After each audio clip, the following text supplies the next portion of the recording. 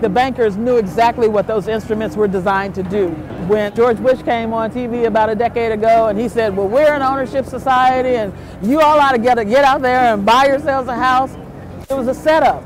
We closed down Wells Fargo this morning, we closed down Chase Bank, we closed down B of A, and we closed down Citibank. And we're going to continue to come after them and let them know that there is no more business as usual if they think that we are like dead mice and we're just going to be swept out of our houses and not fight back. That day is over. We're finished with that.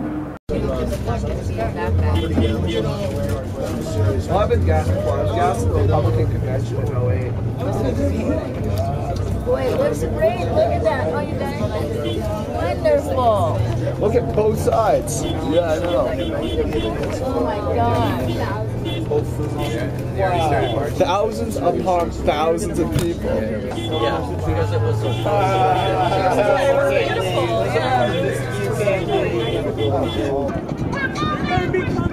Occupy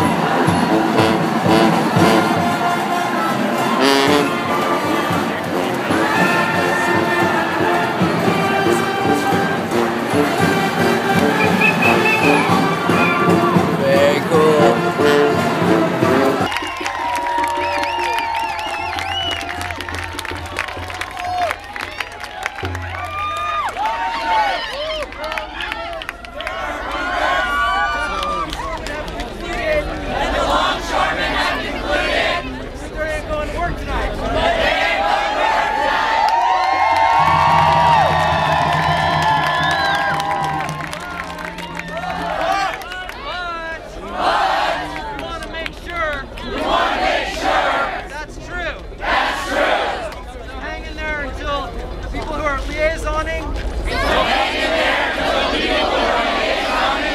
With the longshoremen. With the longshoremen.